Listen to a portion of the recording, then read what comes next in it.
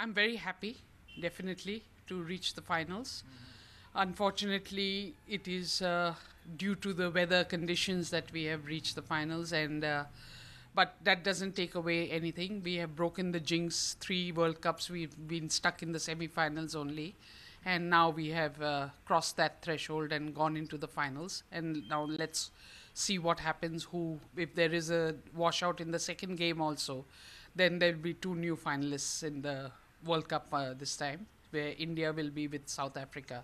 If uh, it'll be a huge impact, and uh, I feel that at the moment the team is on a roll a little bit.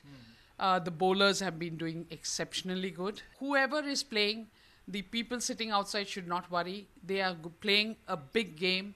It is a game changing time for women's cricket in India. ये एक इतना बड़ा मौका आया है हाथ में women's cricket के लिए इंडियन विमेंस क्रिकेट के लिए। और मैं सोचती हूँ कि अगर ये वर्ल्ड कप हम लेके आते हैं इंडिया में तो बहुत बड़ा मौका है विमेंस क्रिकेट को ग्रो करने के लिए और बीसीसीआई के लिए भी एक गर्व की बात होगी। इतिहास बनाने की बिल्कुल बिल्कुल बिल्कुल। जैसे 83 में कपिल देव ने किया था पहली बार वर्ल्ड कप लेके आए उसके बाद क्रिकेट थोड़ा चेंज हुआ।